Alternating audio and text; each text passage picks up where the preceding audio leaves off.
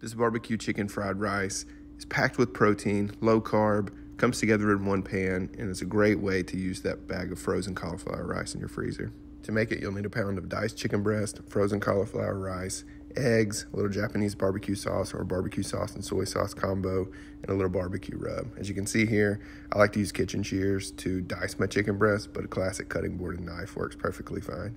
Just saves a little dishwashing.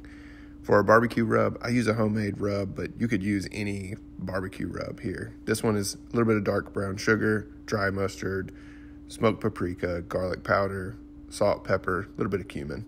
Uh, but again, any barbecue rub will work here. Mix that up, we'll sprinkle that over the chicken. And then if you can, let this hang out at room temperature for maybe even just 10 to 20 minutes. Let that seasoning really melt in. Uh, it'll give you a better overall product once you're ready to cook. Now for the fun part. You can use a skillet. A wok is always great for fried rice, but a skillet works fine. Make sure it's really hot before the oil goes in. We're going to use about a tablespoon of olive oil. We'll add the chicken carefully and then spread this out to get as much surface area as possible. With the brown sugar in the barbecue rub, this is going to brown pretty quickly and the chicken will cook within uh, two to three minutes. I mean, it's not going to take long. You can see a few of my pieces maybe got a little too brown, but excuse me for filming.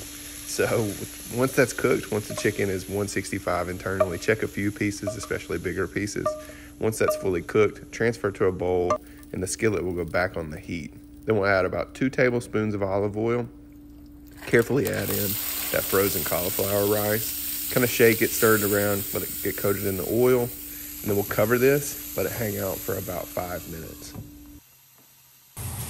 Once the rice is completely thawed, and you start to get some little crispy golden brown bits on the bottom.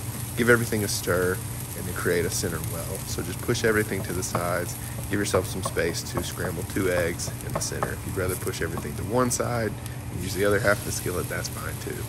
This is going to sound a little hypocritical because I just poured those from a bowl, but I'll typically crack these straight in the pan, but couldn't handle the shame of if I messed that up on camera. Uh, if you'd rather put them in a bowl like that, whisk them together, that's totally fine. You know, you just want to get these in the pan, get them scrambled. You can get them as browned as you want, as soft scrambled as you want. Uh, no need to stress too much over these eggs. You can even leave the eggs out. But once you've got them cooked, scrambled, however you like, we're going to just mix that in with our rice. And then it's time for the real moneymaker, the sauce. So this is two tablespoons of Bachan's Japanese barbecue sauce, which I love going off the ingredient list, I'm going to say it's a blend of a tomato based barbecue sauce with soy sauce, toasted sesame oil, and mirin. If you wanted to take a stab at making your own, you can use really any barbecue sauce or just soy sauce. Just get something in here.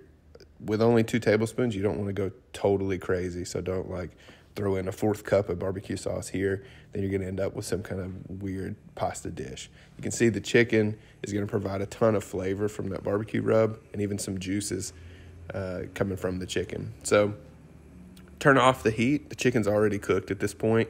It's been resting. No need to reheat or recook here. Uh, this is a pretty fast recipe. You'll just want to get it back in the pan together, mix everything together, and then we'll plate it and we'll garnish with scallions or chives like I did here, some toasted sesame seeds and black sesame seeds, a little chili oil or chili garlic crisp is what I used here. I'm obsessed with the S&B chili crisp and you can even hit it with a little drizzle of the Japanese barbecue sauce if you have it. Can't go wrong with this. Hope you enjoy.